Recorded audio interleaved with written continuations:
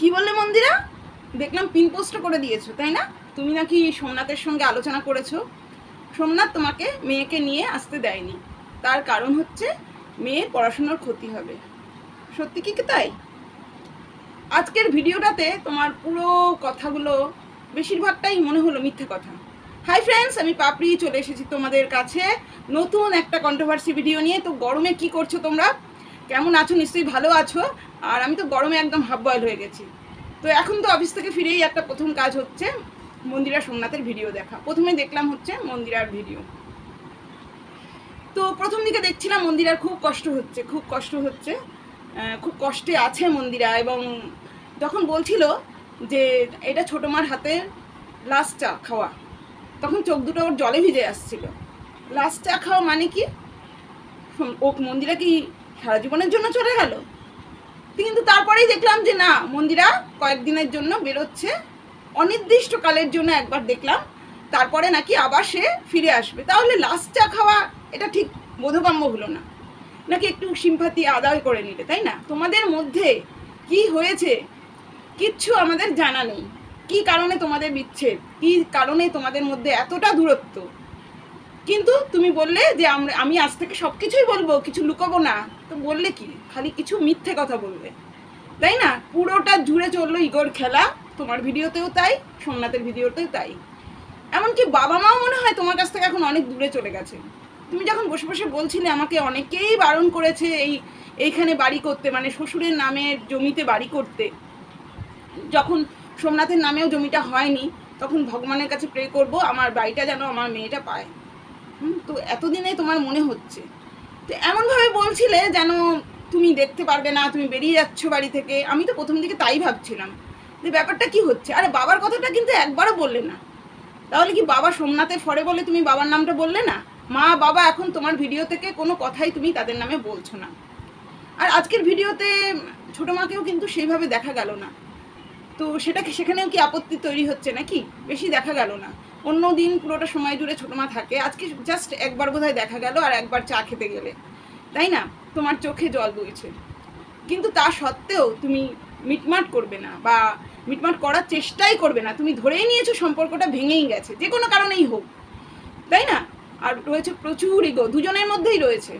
যদিও সোমনাথ বারবার কমিউনিটি পোস্টে দেখতে পাচ্ছি যে মিটমাট করতে চাইছে, কিন্তু দুপক্ষে থেকেই তো এগোতে হবে না। তুমি বলছো, মেয়েটাকে আঁকড়ে ধরে আমি বেঁচে থাকব। তো কোথায় গেল মেয়ে? হ্যাঁ?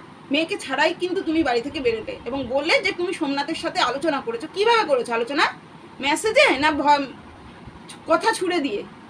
কারণ তুমি সোমনাথের সাথে কথাই বলছো না। আমি স্ক্রিন রেকর্ডিং দেব যে তুমি সেখানে কি বলছো?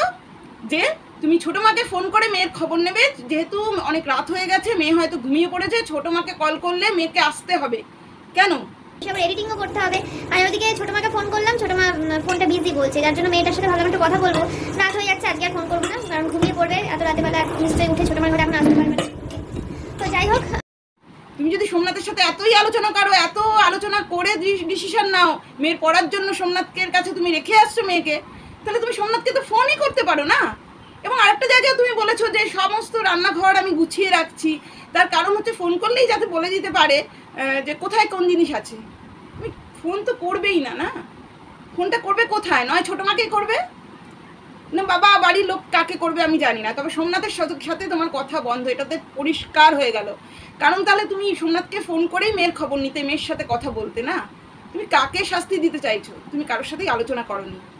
তোমার এখন মনে হয়েছে এত দিন বাদে যেহেতু তোমাদের সম্পর্কটা নষ্ট হয়েছে, যে কোনো কারণেই হোক, আমি কারোর এক কথা বলব না।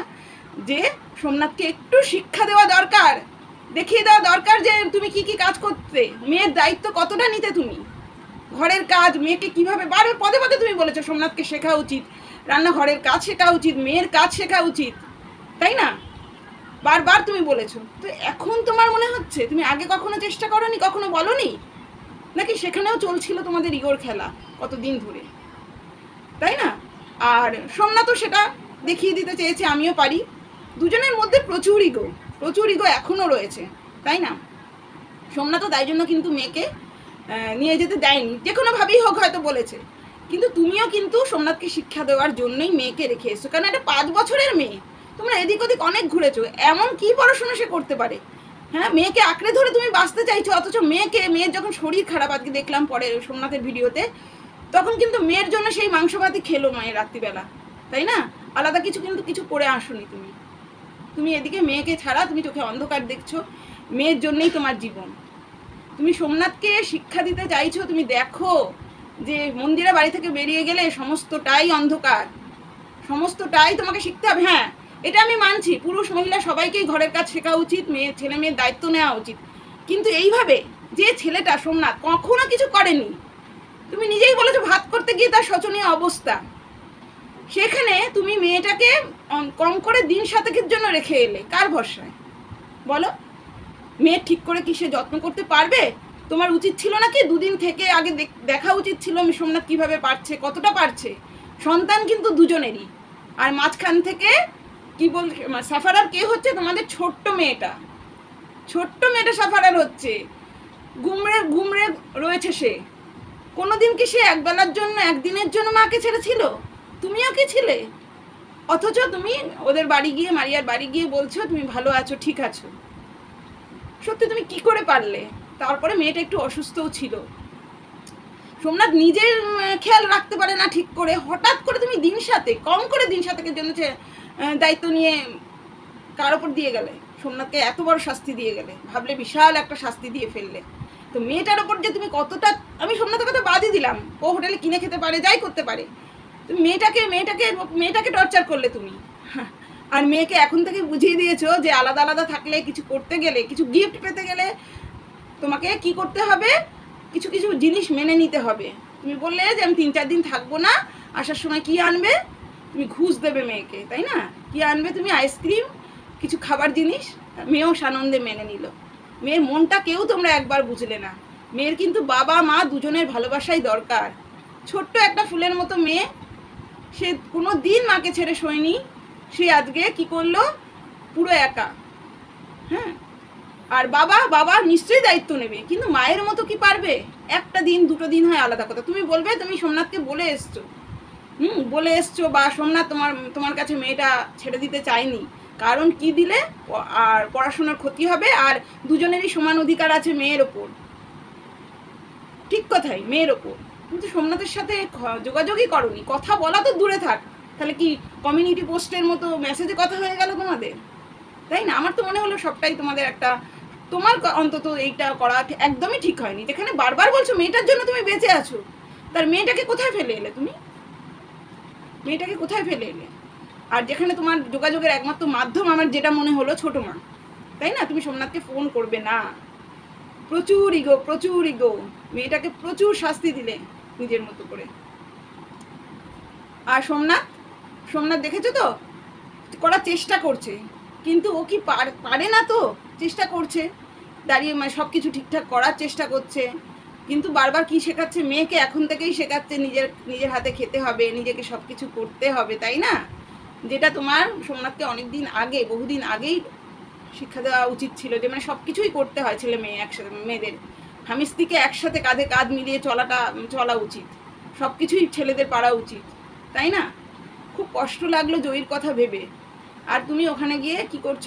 আরেকটা কথা বড্ড চোখে লাগল, তুমি বলছো যে আমি প্রথমে ট্রলি গুছিয়েছিলাম, সেখানে কি বলব, পাঁচ ছটা তোমার কুর্তি বলো, তারপরে বাড়ি পরা জামা বলো, তুমি মেয়েকে নিয়ে যাবে ভেবেছিলে, তো তো মেয়ের জিনিস কোথায়? পরে তুমি ব্যাগ নিলে, কম জিনিস নিলে, কিন্তু সেই ট্রলিতেও তো আমরা দেখলাম তোমারই জিনিস। তুমি ঠিকই মেয়েকে নিয়ে যাবে, সেই সিদ্ধান্ত নাওই নি। তুমি জাস্ট সোমনাথকে শিক্ষা দিতে চেয়েছো। দেখো কীভাবে কি দেখ কেমন লাগে সেই ব্যাপারটা, না? আমি সারাদিন যেটা করেছি, সেটা এবার তুমি করে দেখো। তুমি করে দেখো কতটা পারো। আর পুরুষের ইগো সোমনাথও জাস্ট মেনে নিয়েছে। কিছু করার নেই। কিছু করার নেই। একবার বাবার ইগোতে বাবা বেরিয়ে যাচ্ছে, একবার মার ইগোতে মা বেরিয়ে যাচ্ছে, হুম? এবং এমনও কথা বলছো তুমি যে ঘুরে ঘুরে এখন বেড়াবো। তোমার মন শান্ত করতে তুমি ঘুরে ঘুরে বেড়াবে, হুম? তার মানে মেয়েকে রেখেই যাবে না? অথচ মেয়ের তোমার প্রাণ, মেয়েকে আঁকড়ে ধরে তুমি বাঁচবে। আর ওখানে গিয়ে কিন্তু তুমি মিট আপ ডেকে ফেললে।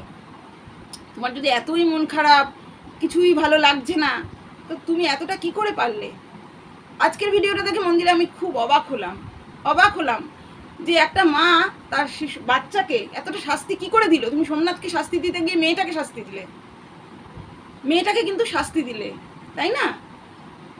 মেয়েটা অসুস্থ, তাও তুমি তোমার সেইভাবে তুমি দেখলাম না যে তুমি আলাদা কিছু করে এসছো। তুমি জানতে নিশ্চয়ই মেয়েটার পেটের সমস্যা রয়েছে।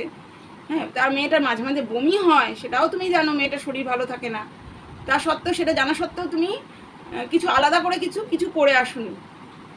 মেয়েটা সেই মাংস দিয়েই ভাত খেলো, পাঠার মাংস, যেটা একদম কি বলব, পেটের সমস্যার জন্য ক্ষতিকারক, তার মধ্যে মারাত্মক গরম। হ্যাঁ এই তোমার মেয়ের প্রতি ভালোবাসা। অতটুকু একটা মেয়েকে খুব খুব খারাপ লাগছে আমার জয়ীর কথা ভেবে, যার এখন কিছুই বোঝার বয়স হয়নি। এই মেয়েটা, এই ছোট্ট ফুলের মতো মেয়েটা কত তাড়াতাড়ি ম্যাচিওর হয়ে যাবে। ম্যাচিওর হয়ে যাচ্ছে। তা ক্যামেরার সামনে হাসছে। মানে তার মধ্যে যে মা নেই, সেই দুঃখটা কিন্তু দেখলাম না। মা চলে গেছে বা প্রশ্ন করছে সেটাও দেখলাম না। ওইটুকু মেয়ে বোধহয় ছোট, সত্যিকারের বড় হয়ে গেল তোমাদের চাপে পড়ে। তোমাদের ইগোর চাপে পড়ে। তো মন্দিরা প্লিজ তোমাদের মধ্যে যাই হয়ে থাক না কেন, যাই হয়ে থাক না কেন, মেয়েটাকে এইভাবে কষ্ট দিও না। মেয়েটাকে এইভাবে কষ্ট দিও না। মেয়েটার কিন্তু দুজনকেই দরকার, তাই না? বিশেষ করে এই বয়সে মাকে বেশি দরকার, যেখানে তোমাকে ছেড়ে সে কোনোদিন থাকেনি। তো ভুল কিছু বলে থাকলে আর অবশ্যই ক্ষমা চাপাচ্ছি আমি। আমার যেটুকু মনে হয়েছে, আর ভিউয়ার্সরা যদি সহমত হয় অবশ্যই কমেন্ট করে জানিও। আমার খুব কষ্ট হচ্ছে জয়ীর জন্য যে মেয়েটা এত মানে মেয়েটা শৈশব হারাচ্ছে এই মা বাবার জন্য। মেয়ে বা মা বাবার অশান্তির জন্য। মা বাবা অশান্তি দিচ্ছে ইউটিউবে মানে ধরি মাছ নাছুই পানি, সেই ব্যাপারটা। বলছি বলছি আমার খুব দুঃখ, আমি সম্পর্ক নেই, অথচ আমি কারণ বলব না, অথচ আমি আমার লাইফস্টাইল বেঁচে খাব। সব কিচ্ছু লুকাবো না। কিচ্ছু লুকাবো না, আমি অশান্তিতে আছি, বাড়ি ছেড়ে চলে যাচ্ছি। হ্যাঁ আরেকজন তো নেশা করছে, শুনলাম, নেশা করেছে সিগার যেগুলো তার পক্ষে ক্ষতিকারক, সেগুলো করেছে সব কিছু করেছে। অথচ আমরা ভিউয়ার্সদের বলব না কারণটা কি? তোমরা যা ইচ্ছে ভেবে নাও। তবেই তো দিনের পর দিন লোকে তোমাদের ভিডিওস দেখবে না? কারণটা যদি বলেই দাও, তাহলে কি করে ভিডিওস দেখবে? এত ভিউজ কি করে হবে? দুঃখকে নিয়েও তোমরা কি করছ? বিজনেস মেয়েটাকে বড় শাস্তি দিচ্ছ, বড় শাস্তি দিচ্ছ মেয়েটাকে। মেয়েটার চোখের জলের দাম একদিন তোমাদের দিতে হবে। মেয়েটা এখন থেকেই মানে নিশ্চয়ই মেয়েটার দুজনকেই প্রয়োজন, দুজনের ভালোবাসাই প্রয়োজন। আর বাবা যেখানে এতটা আনারি তুমি কি করে ছেড়ে গেলে মেয়েটাকে? মেয়েটা সুস্থও নয়। তো আজকের মতো এটুকুই, বারবার এটুকুই বলছি। প্লিজ যা হয়েছে নিজেদের মধ্যে মিটিয়ে নাও। মেটাবে না জানি, এ আর মিটবে না। আমরা বললেও কি, না বললেও কি। কিন্তু মেয়েটাকে প্লিজ শাস্তি দিও। তো আজকের মতো এটুকুই, দেখা হচ্ছে নেক্সট কোনো ভিডিওতে। ততক্ষণের জন্য ভালো থাকুক, সুস্থ থাকুক সবাই। আর জয়ীর জন্য রইল অনেক অনেক ভালোবাসা। তো টাটা বাই বাই